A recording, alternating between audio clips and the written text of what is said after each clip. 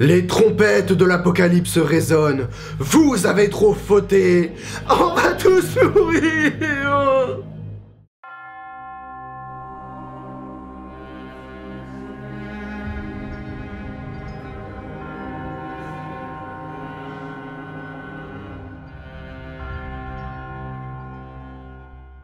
À la fin des temps, lorsque l'apocalypse se déclenchera, sept anges sonneront de la trompette.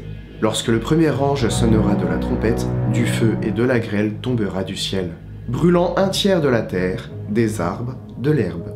Lorsque le deuxième ange sonnera de la trompette, un tiers de la mer se transformera en sang, tuant un tiers des animaux y vivants et détruisant les navires qui flotteront. Lorsque le troisième ange sonnera de la trompette, une étoile nommée absinthe tombera sur un tiers des fleuves, transformant l'eau en absinthe et tuant par la même occasion des millions d'hommes. Lorsque le quatrième ange sonnera de la trompette, un tiers du soleil, de la lune et des étoiles seront frappés, obscurcissant le ciel pour un tiers de la journée et de la nuit. Et lorsque le cinquième ange sonnera de la trompette, une autre étoile tombera du ciel. Et avec elle une clé, ouvrant le puits de l'abîme, libérant l'ange de l'abîme, l'ange de l'Apocalypse, l'ange de la mort, Abaddon. Oh, ça fait peur. Qui est donc cet Abaddon? Eh bien, à l'origine, avant que Jean en parle dans son Apocalypse comme étant une entité, Abaddon est cité plusieurs fois dans l'Ancien Testament comme étant un lieu. En effet, si on regarde l'étymologie du mot Abaddon en hébreu, il signifie destruction, lieu de destruction, et est souvent associé au Sheol, le royaume des morts. On le retrouve six fois dans l'Ancien Testament où il est utilisé pour parler d'un lieu. Job, chapitre 6, verset 6, le Sheol est nu devant lui, et l'abîme n'a pas de voile. Job, chapitre 28, verset 22, La destruction et la mort disent, De nos oreilles nous en entendons la rumeur. Job, chapitre 31, verset 12, Car c'est un feu qui dévore jusque dans l'abîme, et qui détruirait par la racine tout mon revenu. Psaume 88, verset 11, Racontera-t-on ta bonté dans le sépulcre, ta fidélité dans l'abîme?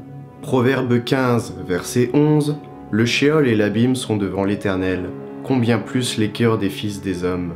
Proverbe 27, chapitre 20 Le Shéol et l'abîme sont instables, et les yeux de l'homme sont insatiables.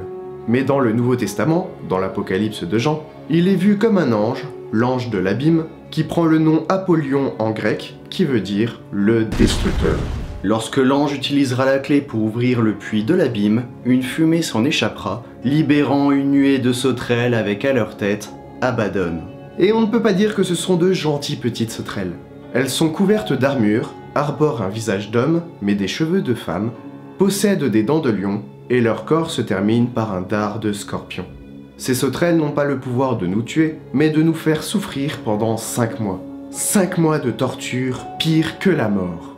Il est d'ailleurs dit que les hommes chercheront désespérément la mort, mais sans la trouver. Ils souhaiteront la mort, mais la mort les fuira. Seules les personnes possédant le sceau de Dieu sur leur front, visiblement ceux qui ont le Saint-Esprit en eux, seront épargnés. Mais avant d'être un ange qui sème la mort sur son passage, il est dit, dans le texte apocryphe Les Actes de Thomas, qu'Abaddon s'appelait auparavant Muriel, et que Dieu lui confia la tâche de collecter la terre qui sera utilisée pour créer Adam. L'ange fut ensuite nommé gardien.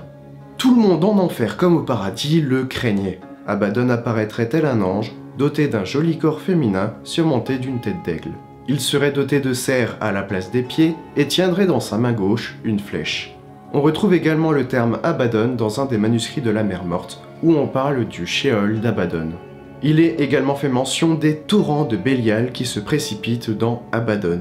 En démonologie, il serait le chef des démons de la septième hiérarchie mais la hiérarchie grecque.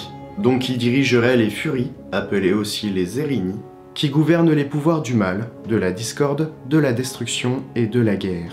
Il résoudrait les conflits amoureux, s'attaquant aux rivaux, et balayant tous les obstacles se mettant sur le chemin de l'être aimé. C'est un Cupidon un peu bourrin en somme. Bon, malheureusement, avec tout ça, on ne sait pas encore qui est vraiment Abaddon.